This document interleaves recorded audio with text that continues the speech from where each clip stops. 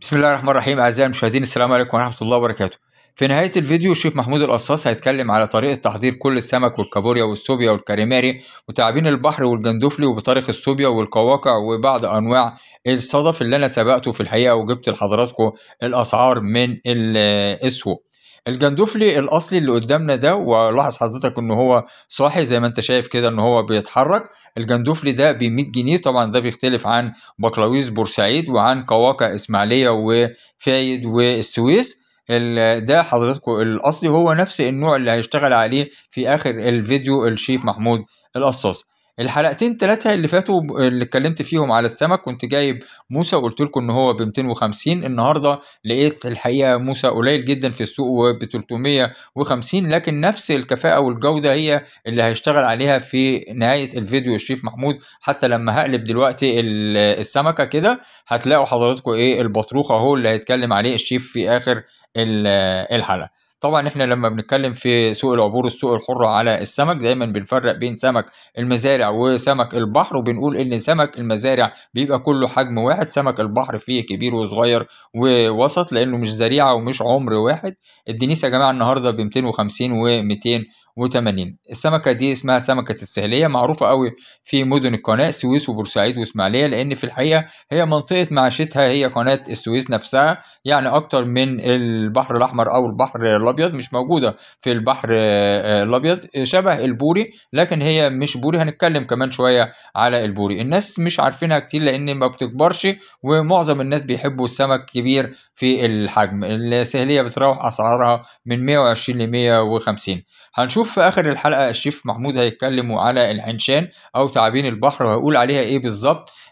وطريقة عملها في صينية ال- البطاطس. هسيب لكم الحتة دي واسمعوها من الشيف آه في آخر الحلقة. لكن طبعا بفكر حضراتكم محدش يمشي من الفيديو قبل ما يحط like. ما تنسوش يا جماعة ال- آه، ال like. طبعا مشاهدين القناة القدام أنا بشكرهم جدا لدعمهم لسوق العبور السوق الحرة. عدد الدقائق الكتيرة اللي بيشوفوها في الفيديو الواحد واللايكات والتعليقات اللي في نفس موضوع الفيديو وبعض المشاركات. طبعا برحب بكل المشاهدين اللي بيشوفوني النهارده لأول مرة. سوق العبور السوق الحرة بتتكلم على الفاكهة والخضار والسمك بنفس الوضع وبنفس الكيفية اللي حضراتكم شايفينها في حلقة النهارده. الكابوريا ال- الإناث اللي قدامنا اللي بطنها بتبقى آه، كده يعني منحنية ب 150 وب 200 جنيه. كان تحتها على فكرة كابوريا حجري بتبقى أغلى شوية. دي مجموعة من الكاريماري كبيرة الحجم والسوبيا لأن قلت لكم أنا جايب لحضراتكم الأصناف اللي هيشتغل عليها بالفعل الشيف محمود القصاص في آخر الحلقة هو هيشتغل على الكاريماري والسوبيا أو السوبيت الكبيرة في الحجم اللي فيها بطاريخ وفيها بيض سوبيا وهنشوف إزاي بيض السوبيا بيشتغل عليه. المرجان طبعا يا جماعة لما بنيجي نتكلم عليه في سوق العبور السوق الحرة بنعرف إن المرجان أبو أتب اللي هو ب 200 وب 250 ووصل على فكرة 300 جنيه النهارده الأتب بيبقى على ظهره من أول راسه لغاية ديله بيفرق كتير عن الصرع اللي بيقولوا عليه في السوق المرجان أو صرع المرجان. دي أنواع البوري ودايما بنتكلم على البوري عموما أسعار البوري النهارده في الجملة من 60 ل 90 والقطاعي من 120 ل 150 راجع سوق العبور السوق الحرة. تلاقيني بتكلم على البوري وانواع البوري البوري الكنال وبوري ال- الأصلي اللي بيبقى عليه ال- الختم الأصفر على ديله وعلى آه، راسه وعلى الهليلي والدبارة. الشعور الحر بنتكلم طبعا في القناة على الشعور الحر. وأنا جايب لكم نفس الحجم اللي هيشتغل عليه الشيف. ده الشعور الحر. وطبعا في سوق العبور برضو بنتكلم على جميع أنواع الشعور الشركس والمحسني والقمقم والديريني وبنفرق بينه وبين الصدفة وأبو درس وأبو عدس وال الأش... يعني الأشكال اللي شبه الشعور ده البربوني الكبير أو الجامبو اللي هيشتغل برضو عليه الشيف بيقولوا عليه في إسكندرية السلطان إبراهيم وأسعاره ب 150 جنيه. دي يا جماعة السوبيا أو السبيت الكبيرة اللي هشتغل عليها برضو الشيف في آخر الحلقة. في الحقيقة يعني أنا أتمنى إن كنتوا آه، تكملوا الفيديو لنهاية الحلقة. قليل لما بنقابل الشيف محمود ال- القصاص وفي الحقيقة طرق آه، طهي يعني آه، جميلة جدا وسهلة. والراجل آه، أنتوا طبعا اتعودتوا على آه، طريقة آه، شرحه. السوبيا اللي هو جايبها النهارده سوبيا كبيرة زي دي كده لسه بحبرها. دي متنضفة أصغر شوية من ال- اللي كانت في الأول. الكبيرة طبعا اللي بتبقى فيها البطاريخ وفيها بيض ال- السوبيا. وفي الحقيقة في ناس كتيرة يعني آه، وبالذات يعني البنات الصغيرين ويمكن يكون الفيديوهات اللي بعملها مع الشيف محمود يعني بتفيد البنات الصغيرين إن شاء الله آه، يعملوا الحاجات دي آه، في بيوتهم. طبعا في أعياد وفي أفراح في أول السنة الجديدة وإن شاء الله برضو خلاص يعني رمضان وعيد وفي أفراح وربنا يفرح آه، كل بناتنا. المهم ال- الحلقة دي بنهديها للعرايس والبنات الصغيرين. القواقع أو الصدف اللي قدامنا آه، ده طبعا هيتكلم عليه الشيف آه، محمود وهيعرفنا آه، أنواع اللوجز والسريديا آه، أنا بس هجيب لكم أم الخلول لأن في ناس بتسأل على أم الخلول. أم الخلول يا جماعة غالية جدا. أم الخلول واصلة ل 200 جنيه. آه، تقريبا قربنا نوصل لإن يبقى معانا الشيف محمود. حجم أربع صوابع زي ما أنتم شايفينه كده أنا فارد الأربع صوابع. ده حجم ال- ال- ال- البربوني بتاعنا. ده في الحجم البلدي الفراولة ده كده جامبو. يعني ده كده جامبو في الحجم اللي أنا بتكلم فيه في البربوني اللي أنا بقول لكم عليه.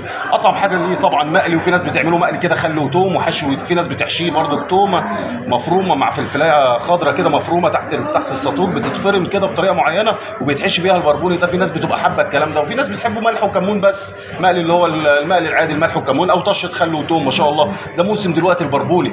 برضك الشعور عندنا ما شاء الله برضك الأيام دي ما شاء الله الشعور عندنا ما شاء الله أحجامه الكبيرة موجودة عندنا ما شاء الله. الحتة اللي في إيديها دي تعمل حوالي 2 كيلو. دي ليها كذا طريقة. يا إما تقطعها كلها مقلي أو تاخد الراس والديل وتعملهم شوربة صيادية أو تفتحها سنجاري بالخلطة اسكندراني أو بتبقى ميال ليها في الصواني المسبكة صوص أحمر بالبطاطس.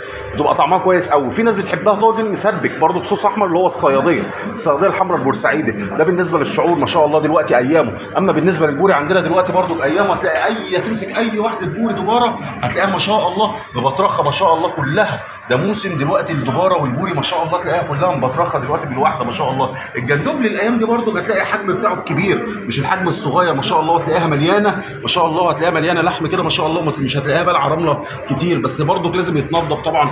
بطريقة معينة وبيتعمل توم وكرفس وبيتعمل صوص بكريمة وبيتعمل شوربة شوربة بلدي وفي ناس بتحبه مشوي بالخلطة اسكندراني وفي ناس بتحبه مشوي بالزبدة وفي ناس بتخليه وبتعمله بتدخله ضمن الطواجن الميكسات برضه نفس الكلام. ما شاء الله المرجان عندنا ما شاء الله دلوقتي برضه بالأحجام الكبيرة ابتدت تظهر. كان الأيام اللي فاتت كان الحجم الصغير اللي هو ثلاث حبات يعملوا كيلو مثلا ابتدوا يظهروا بقى الحتت الكيلو والكيلو وربع ما شاء الله زي ما أنتم شايفينها كده ابتدت تظهر. أطعم أنواع السمك المقلي في ناس بتحبه مشوي زيت وليمون في ناس بتحبه صواني بالبطاطس كمان صوص أبيض أو صوص أحمر ما شاء الله. الدنيس عندنا القناه أحجامه بقى الصغيرة كان عندي الأسبوع اللي فات ما شاء الله حتة الدنيسة وصلت عندي لحد 3 كيلو. سمكة الدنيس وصلت عندي الأسبوع اللي فات لحد 3 كيلو. الطرحة الأيام دي ما شاء الله زي ما أنتم شايفينها كده الحته ثلاثات في الكيلو. أطعم أنواع السمك المشوي والزيت والليمون الناس بتحبه مشوي بالرده في ناس بتحبه مقلي.